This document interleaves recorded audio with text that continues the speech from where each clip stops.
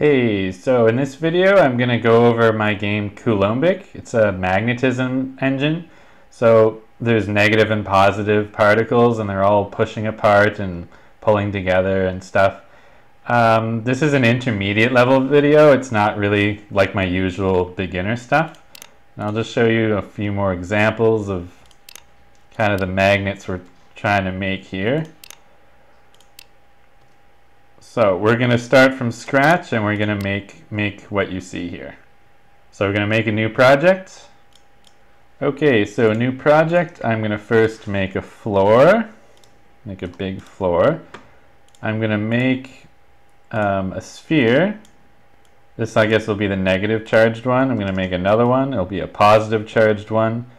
And I'm going to make a cube which will have a charge but it won't move. So that's going to be like a test zone. I'm going to make an empty game object here, call it particles. And we're going to put the stuff into that. And finally make the camera look at them from the top. Okay, so set up a little test zone. Now in assets, I'm not going to get crazy with you know folders. I'm just going to do what needs to be done. Uh, we're going to have three scripts, charged particle. So all three of these are going to have this script, except this one, moving charged particle, is going to inherit from charged particle. And we also are going to need particle manager. Okay, so open up charged particle to start. So really all this one's going to do is it's going to have a charge, which will start at 1. And we're going to uh, change the color. This might seem trivial, but you really do need to have red or green depending on positive or not. So we're going to make a color, and it's going to be, we're going to say, is charge that, then make it color dot green. Otherwise, make it color dot red. Okay, and then just get component renderer dot dot material dot color equals color. And actually that's all we need for charged particle. So open up moving charged particle. Oh wait, one more thing. Void start update color. Cool. So now moving charged particle, instead of inheriting from mono behavior, it's going to inherit from charged particle. So it's also a mono behavior. So it's going to have this other stuff, but it's just going to be in addition to that. So we're going to have a mass, which will start at 1.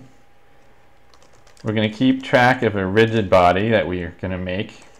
And we're going to start what we're going to do when we start, we're going to update color just like before, but if it's also moving, we've got to add a rigid body to ourselves.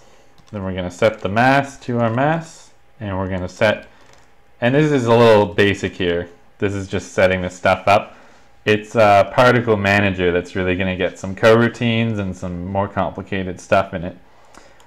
Uh, what we can do though for now just to set up the scene a little more.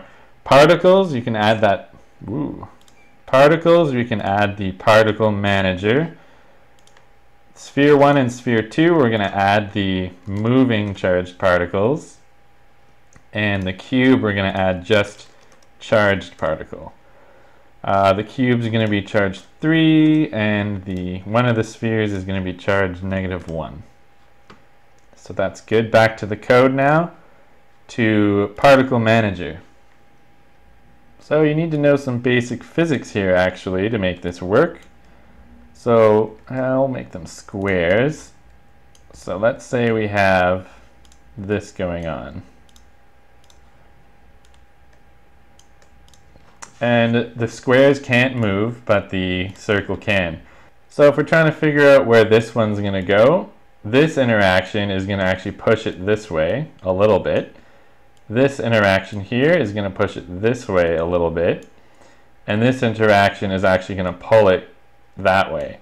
And you're going to add up those vectors and we're going to get something, I suppose that would be like that. So overall this thing is going to be pushed just a little bit in that yellow direction.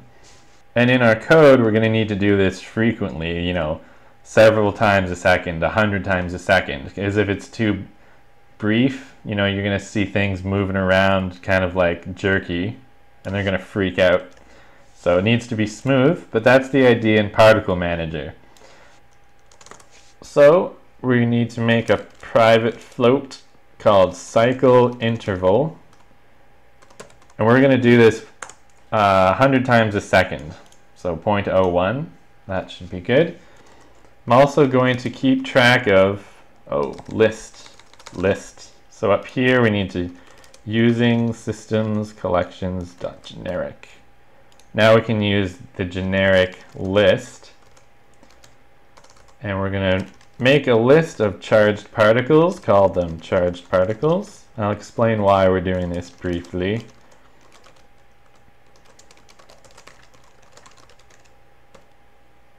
So only once when we start, we're going to find all the charged particles. I'm going to make it into a list of charged particles and it's going to be find objects of type charged particles. Whoops, charged particle.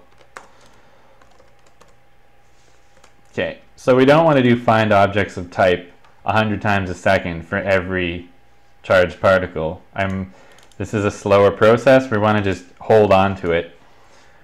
And we're going to do the same with moving as well.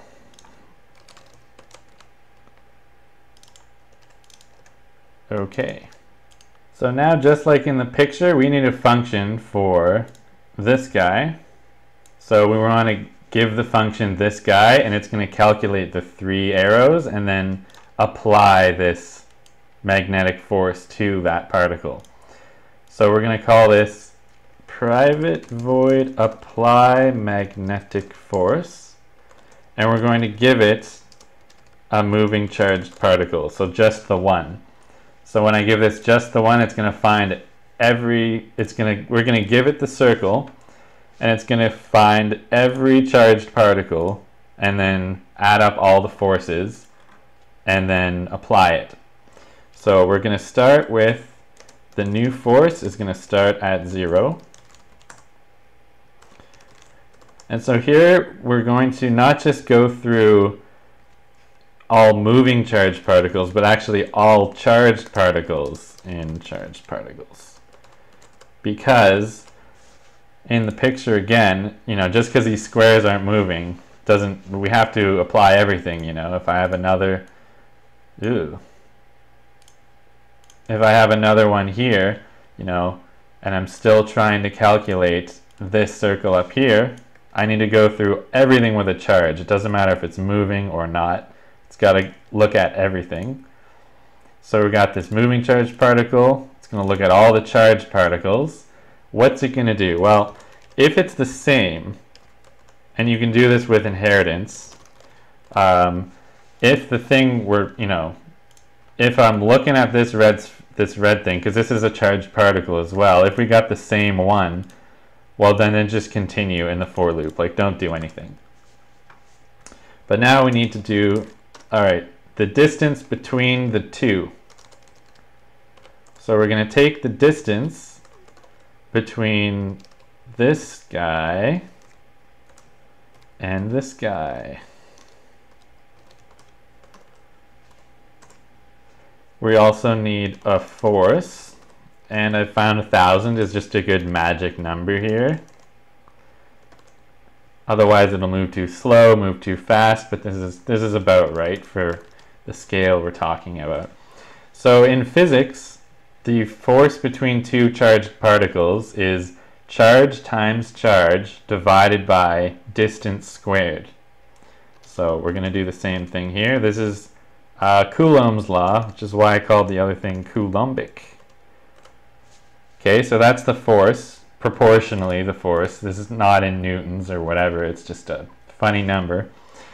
But now we need the direction as well. this one's going to be this position minus the other thing's position. We need to normalize it to make it length 1. Normalize. Yes. You know, because if they're far apart, I don't care if it's length 20 or length 1. I want it to always be the same length 1, just the right direction. I don't want it to be a long vector. And now we can figure this out. So new force is going to keep track of all of these. So as we're adding them up, these black arrows, right now we only have one black arrow. We want to, and the yellow arrow is our new force. Right now it's zero, but each time we're going to add to it.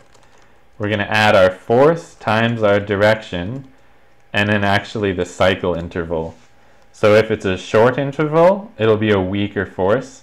If it's a fast interval, like the number up here, if it's 0.1, then it's larger, so it's going to be, force is greater because we're doing it less often.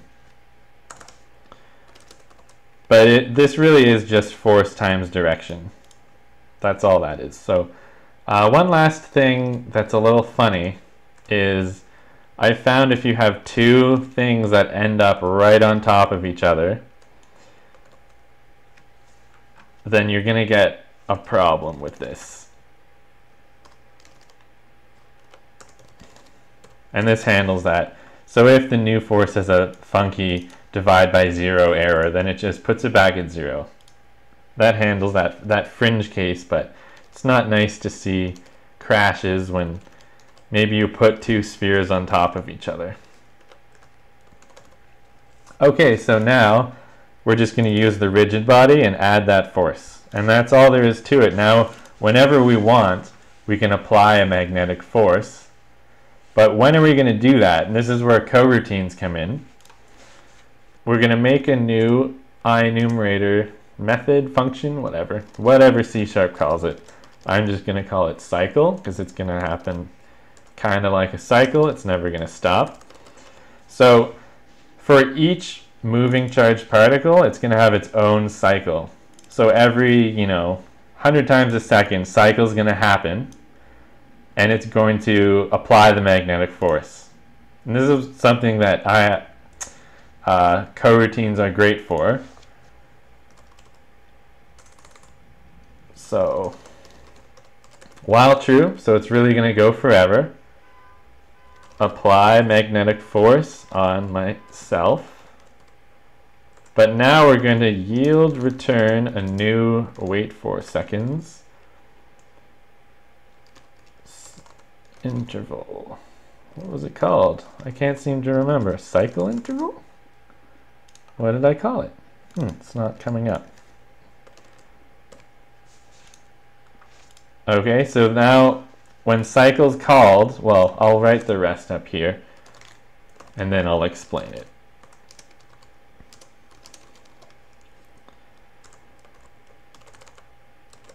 Okay, so start coroutine the cycle with that. Oh, we don't need that. Okay, so the way this works, normally when you run a method, say this is going to start, you know, it does this, this happens, comes down here, Normally you'd expect this to happen. So the first one you would expect this would have to finish.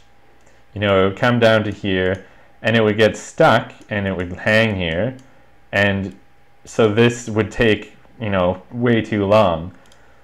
But actually when you start a coroutine, this is going to be very instant, very fast. So even if I have a thousand moving charged particles, this is going to happen just in an instant in code time, basically. And then these are going to kind of just, we've started our own kind of brain for each moving charged particle. And each one is going to have this loop. And it's going to almost pretty close to cycle interval. It's not actually going to wait exactly that amount of time, but it's really close. That's how coroutines work.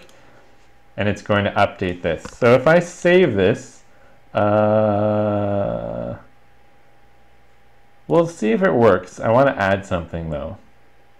Let's see what happens when I play. Yep, cool. that is what we expected. That's repelled and that is sucked in. So that is cool. I'm going to add one thing here though. Because if we have, say, a hundred of these things, the problem is they're all going to start at the same time and they're all going to wait. So every, exactly every hundredth of a second, we're going to get this spike in processing. It's not really the best. So what I'm going to do is I'm going to make one little extra thing. If is first, is first is false, and then yields return new wait for seconds, and then random uh, cycle interval. So when it's just the first go, I'm going to wait a random number between 0 and 0.01. So that all of these magnetic forces are going to be kind of spread out evenly so that there won't be any spikes. Oh, what did I do? Oh, zero two that. There you go. I had a little typo. I'm actually going to add a quick script here that you don't need. It's just clone generator. I find it handy. So if I click on this guy and I add clone generator, it'll just make a bunch more. You can see the, the green dots. That's where it's going to make them. So if I make a bunch of these, maybe in this direction, and I make a bunch of these, it just, you know, it'll be much more impressive looking, I suppose. Okay, and then have another look at the camera. Center it a bit, press play and see what we got. Cool. They're a little bit crazy though. Maybe spread it out just a bit.